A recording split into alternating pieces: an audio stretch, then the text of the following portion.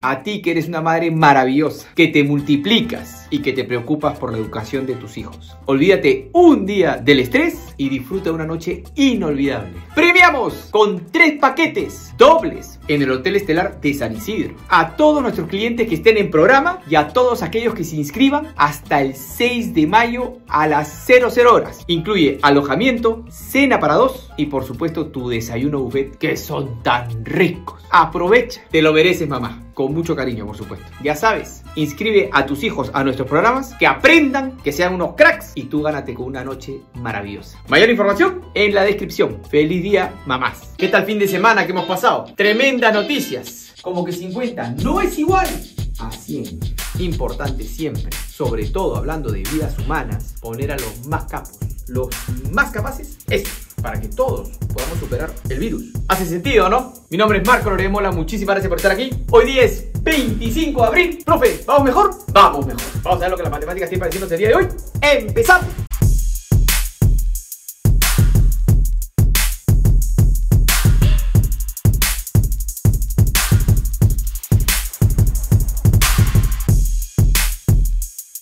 Cerramos la semana 109 desde que empezó el estado de emergencia. Esta tercera semana de abril cerramos con 38.000 pruebas y positividad promedio 8. Así es, ya cerró la semana, por lo que se queda en 8. Ha subido. Tenemos que ver si es que sigue subiendo o empieza a bajar. Aún está en la mera subida. Así que tenemos que observar y por supuesto esperar lo mejor. ¿Qué nos dice el área de salud? Baja la cantidad promedio de hospitalizados esta semana 109, menor al promedio de la semana pasada. Baja la cantidad promedio de pacientes de cama UCI, menor también al valor promedio de la semana pasada. Estamos a un 27% de camas ocupadas. Todo el resto para llegar a 100, a 100%, está libre. Libre para todos los peruanos a nivel nacional. Suena bastante bien, ¿no? Ambos, por supuesto, están en verde porque la tendencia es a la baja por más de 10 semanas. En el caso del versus, las personas que entran al hospital versus las que salen. 95% mayor al valor de la semana pasada. Queremos que llegue a 100, que se acerque a 100. Por eso que ese 95 es bueno. Y una noticia alentadora es que fallecidos Minsa, miren esto. Por eso lo hemos colocado. Valores de una cifra, que por supuesto es enorme, pero comparando numéricamente es una cifra.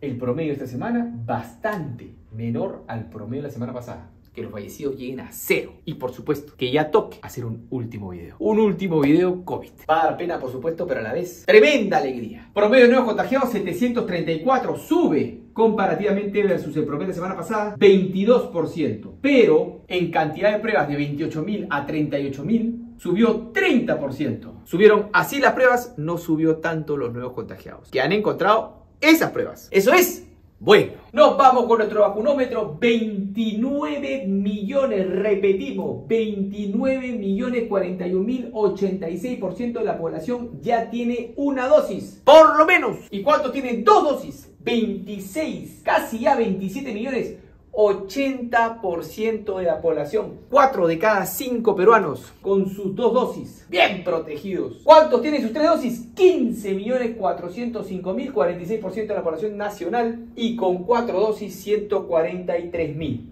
Nuestros niños de 5 11 años hemos cambiado un poco la información, lo hemos puesto en porcentajes. Con una dosis va 64% de este grupo etario y con dos dosis 45% de este grupo etario. Vamos avanzando por todos lados. Sí, tremendo error que hubo, pero fue la institución, no de la vacuna. Mis viejitos han ido justo ayer a vacunarse con Moderna. Le pusieron la dosis correcta y están perfectos, contentos, con nueva esperanza, bien protegidos. Así que por favor, no dejes de ir a vacunarte. Si la tenemos clara, continuemos así. Muchísimas gracias por estar aquí. Nos vemos el día miércoles con video especial para los premium. ¿Y averiguaste? Ingresa y ya sabes qué tienes que hacer. Tu like. Un abrazo fuerte y nos vemos el día miércoles.